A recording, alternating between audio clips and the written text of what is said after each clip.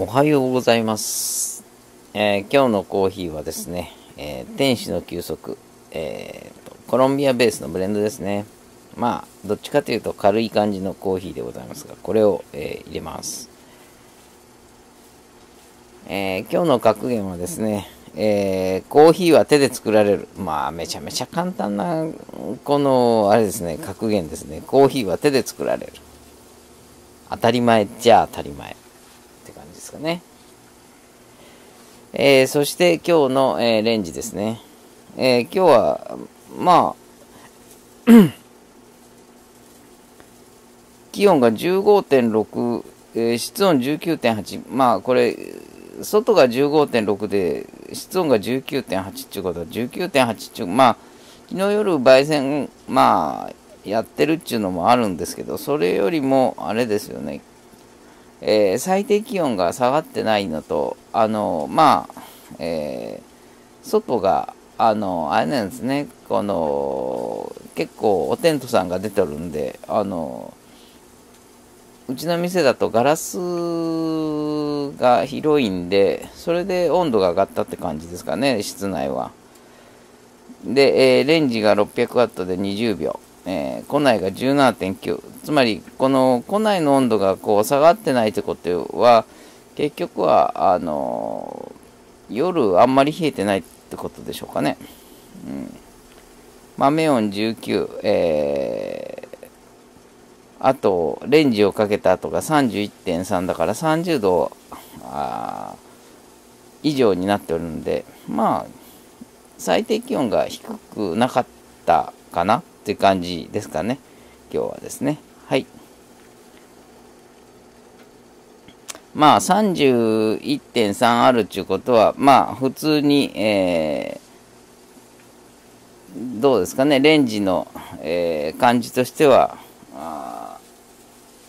レンジをかけた時の、えー傾向が、まあ、よく現れるんじゃないかという気はしますね。はい、えーそれでは、スタートさせましょう。まず穴を掘ります。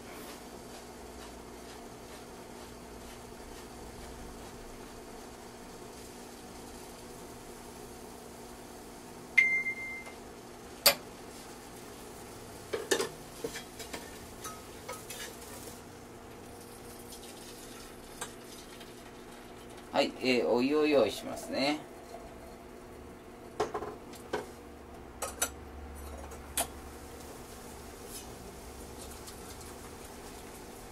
はい、えーしっかり温めます。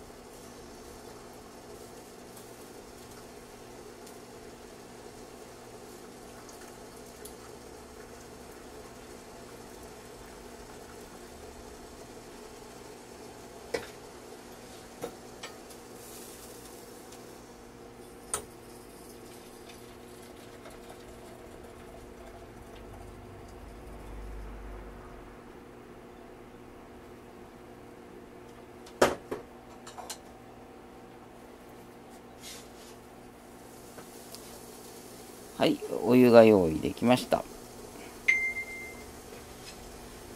はい、真ん中に入れさします。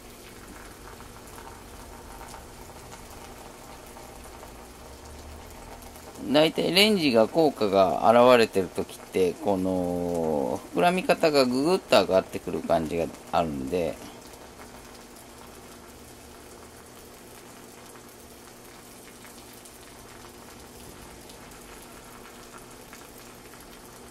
この豆の鮮度以上にこの膨らむ感じがするんですよね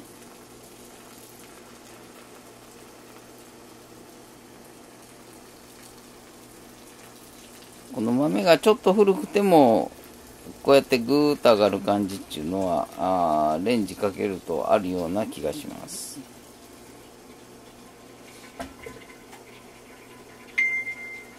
はい、えー、蒸らしですね。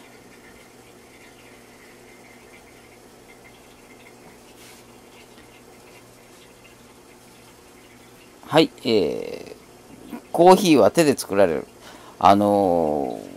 ー、まあ、1分やそこらで解説するのもなんですけど、あの、手で作られるって当たり前ですよね。ハンドピックもそうだし、このハンドドリップもそうだし、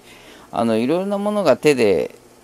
あのー、やってる作業なんですけど、つまり、えー、人間の意思で大体やるんですけど、あの、今って結構温度計だったり、いろいろな機械で、えー、どうこうしようとする、そっちの方がいいんじゃないかっていうふうに、まあ、あの、いう傾向がちょっとあるような気がするんですよね。うん。ただ、このコーヒーが一つ一つが違うのに、えー、同じデータがそんだけ使えるかというと、はい、1分です。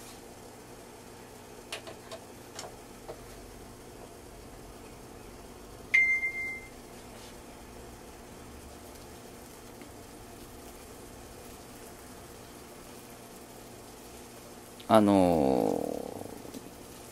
例えばこう抽出の温度であったりこの湯の、えー、かけるスピードであったりとかいろいろなものが、えー、すごく、え、制御されるようになって、えこれで、えドリップすればもう、え全然こうなんつうのプロの技はいらないんじゃないかみたいないうふうにこう思う方結構いてで、あの、よく、えー、クラウドファンディングとかなんかでそういうこう機会が出てくるんですけど、これってちょっと違うなというふうに思うわけですよ。それは何かっていうと、このコーヒーという素材が、えー、それほど工業製品じゃないよ一つ一つが結構違いすぎるのに、そこまで工業製品的に、えー、やっても、えー、ダメだよっていうふうに僕は思うわけですよ。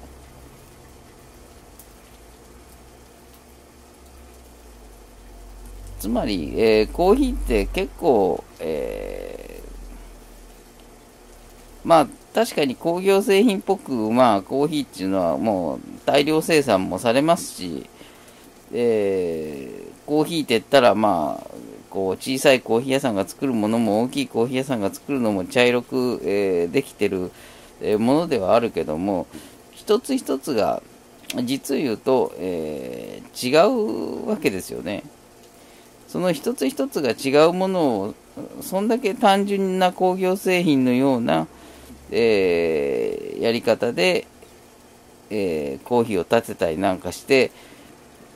えー、同じようにできるかっていうとこれはまあできんと思うんですよね。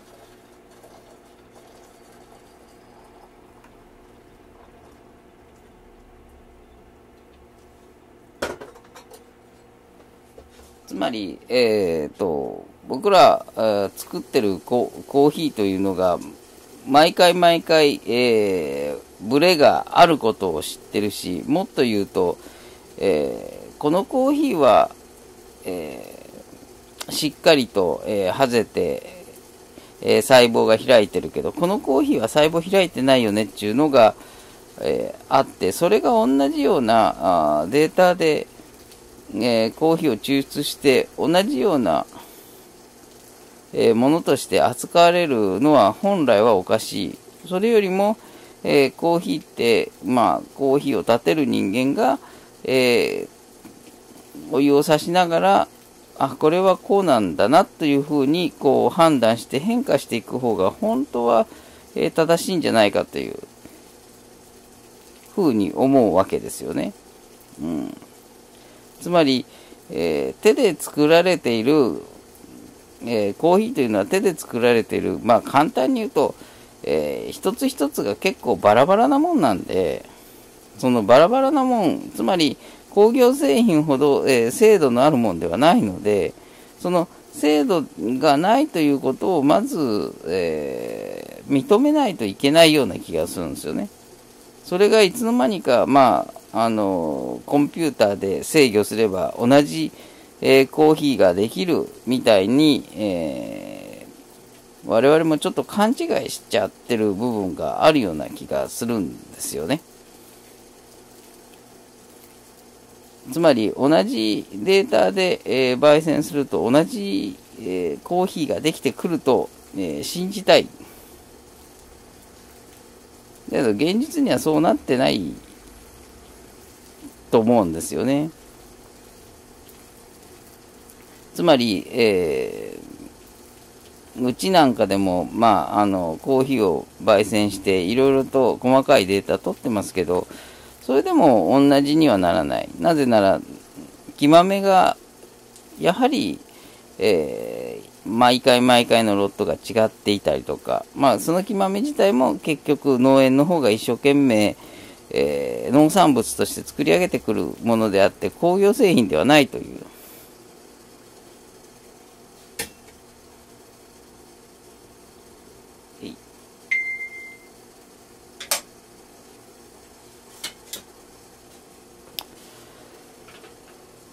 はい、えー、抽出終わりました。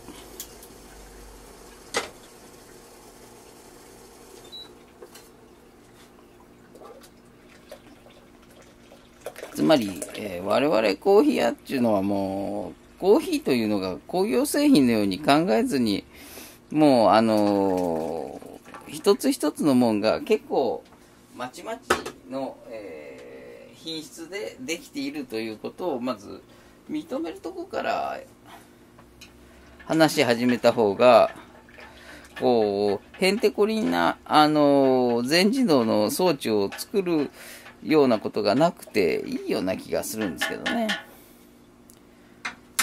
どうしても、えー、そういうふうに、えー、今の傾向として、クラウドファンディングで出てくるものを見ていると、コーヒーというのを理解せずに、えー、ものを作られているような気が、えー、してならないんですよね。だから僕はちょっと、えー、なんつうんですかね、コーヒーは手で作られるみたいな、まあ、あの、工業製品じゃないから、もっといい加減なもんだから、そのいい加減なもんをそんな、えー、数字で持ってくと、えー、ちょっと間違っちゃうよという気がしてならんのですよね。えー、まずは死因です。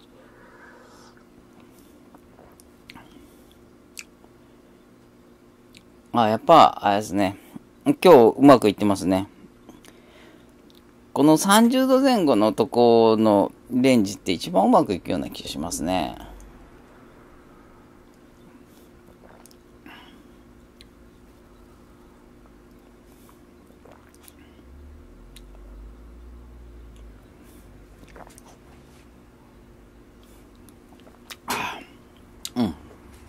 結構美味しいでございます。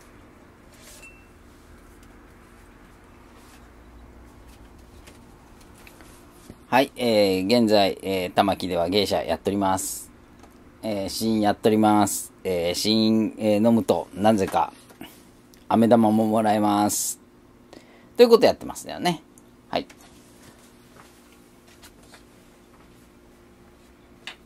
で、まあ、あの、実はと僕、30年前に、えー、焙煎機にコンピューターつけて、えー、排気音と、えー、豆音を測定して、もうすべて完璧にできるもんだと、えー、信じてやり始めて、途中中で逆に、えー、全部を外したんですけど、で、今またコンピューター取り付けて、今やってるんですけど、あの分かってきてるのは、やっぱりコーヒー、所詮農産物だなというのは、今よく感じますけどね。で、そういうのを、えー、地道にこうやって、えー、手で、えー、作られる。まあ簡単に言うと農産物、所詮農産物だなっていうのはそういうとこですよね。工業製品のように、例えば、えー、ボルトみたいに、えー、すごい標準的に、こう、正確にこう数値が正しく出来上がっているものとはちょっと違うなという気が、僕の中ではしてますよね。だから、えー、焙煎もそうだし、まあ、抽出もそうだし、え、農産物は農産物のやり方があるんじゃないのかなっていう気がしております。まあそこまで、えー、細かく考えなくてもいいかもしれないですけど、とりあえず僕はそう感じております。えとりあえず今日は天使の休息でございました。で、えー、そういうふうに、えー、農産物であるうんぬんってって言っときながら、こうやって、あのー、レレンジの研究やってたりなんかすること自体が、なんか、やってることと言ってることがちょっと違うよな。実験、こういう実験してること自体が、どっちかというと、えー、農産物である、えー、コーヒーは手で作られるというところからちょっと外れるような気がするんですけど、まあそれでもなんか、えー、こういうことをやるけど、えー、最後の行き着くとこは農産物である人間がみんなで手で作ってるとこが、えー、尊いような気がちょっとしてたりとかいう、えー、部分が僕はコーヒーにはあるような気がします。